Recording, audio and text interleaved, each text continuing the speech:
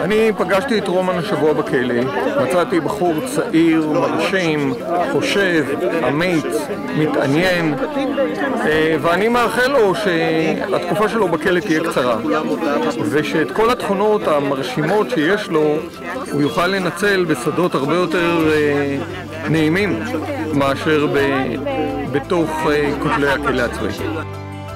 בזמן שהבן שלי היה סרבן, היו אחרים לידו, וזה נורא נורא תומך.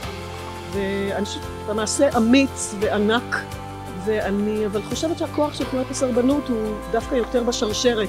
אדם מעביר לאדם, מעביר לאדם. אני באמת חושבת שהרוע כל כך גדול, והאטימות כל כך רעה. הרעיון של סירוב משמעותי, סירוב שבא עם הצהרה, אה, אני לא מוכן לקחת בזה חלק.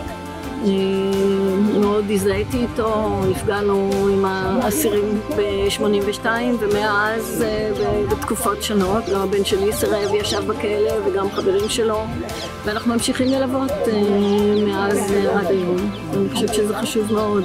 כמה אנחנו זקוקים לשלטים שיצעקו עצור.